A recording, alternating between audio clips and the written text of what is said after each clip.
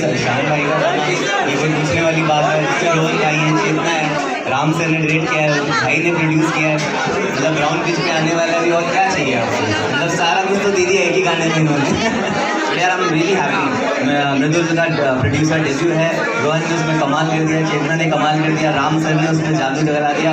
और भाई की आवाज़ का जो मतलब मैं क्या बोलूँ? Everything is good do was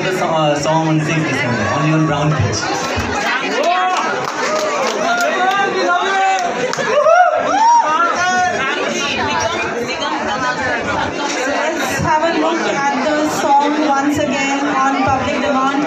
So can I have somebody from Sin City to move the backdrop from the